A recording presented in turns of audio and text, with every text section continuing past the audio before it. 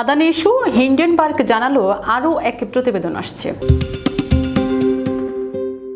গত চব্বিশ জানুয়ারি হিন্ডেনবার্গ রিসার্চের প্রতিবেদন প্রকাশের পর রীতিমতো ঝড় বয়ে যাচ্ছে ভারতীয় দনকুবের আদানির সাম্রাজ্যে। হরুন গ্লোবালের প্রতিবেদনে বলা হয়েছে ইতিমধ্যে পঁয়ত্রিশ শতাংশ বা দুই হাজার আটশো কোটি ডলারের সম্পদ হারিয়েছে আদানি গ্রুপ।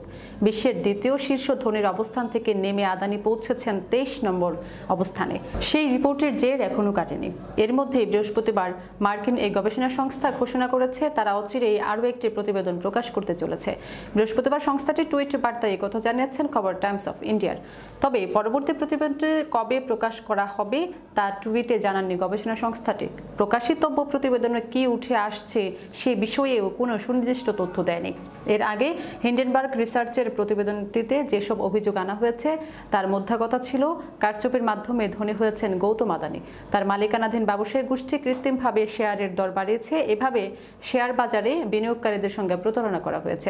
আদানি শুধু ভারতের দুঃসময়ের মুখোমুখি হয়েছেন তা নয় এই ঘটনার জেরে বিশ্ব বাজারেও তার গ্রহণযোগ্যতা কমেছে। সুইস ব্যাংক ক্রেডিট সুসি ও যুক্তরাষ্ট্রের সিটি গ্রুপ বেসরকারি ব্যাংকদের জন্য প্রণয় ঋণের বন্ধক হিসাবে আদানির বন্ড নেওয়া বন্ধ করে দিয়েছে। যুক্তরাষ্ট্রের ডাউ জোন্স সূচক থেকে ছিটকে গেছে আদানি গোষ্ঠী। শেয়ার বাজারে আরও আতঙ্ক সৃষ্টি হয়।